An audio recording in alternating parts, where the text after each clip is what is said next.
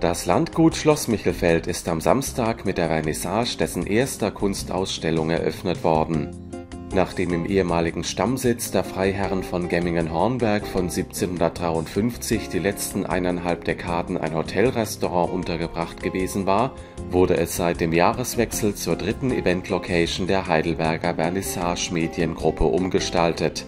Genaueres verrieten deren Geschäftsführer gleich zu Beginn. Sie wissen vielleicht, haben drei Locations, also Natenbrot, den Gutshof mit, in Kooperation mit Hupen, dann in Heidelberg die alte Weinfabrik und nun ihr.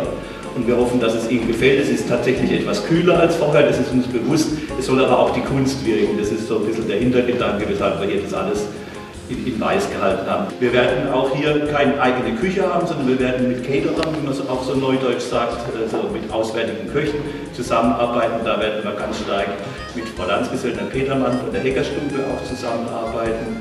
Und äh, wir freuen uns, wenn es Ihnen gefällt und wenn Sie bald eine Familienfeier haben oder was, können Sie gerne bei uns vorbeikommen. Wir versuchen alles möglich zu machen und äh auch Bürgermeister Frank Werner gratulierte zum Einstand.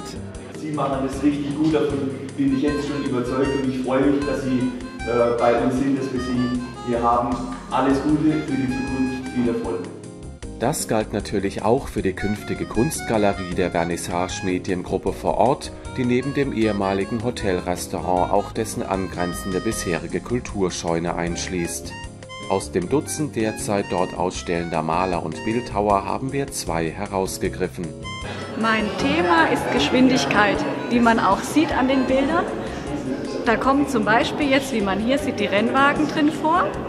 Das ist ein Themenstrang. Ich benutze es symbolisch zum Thema Geschwindigkeit und ich übersetze es dann durch bestimmte Bildsymbole, wie zum Beispiel auch Räder oder Wasserströmungen, einfach um. Ich habe in New York an der Art Students League studiert und äh, Großstadt ist für mich äh, was Wunderbares, weil ich da sitzen kann und Menschen beobachten kann. Und äh, sie zum Beispiel ist jemand, den ich gesehen habe. Ähm, ich dachte, sie sei vielleicht mal Tänzerin gewesen. Also ich mache mir immer eine Geschichte dazu, die, die Leute, was sie mal waren, was sie sind und so weiter.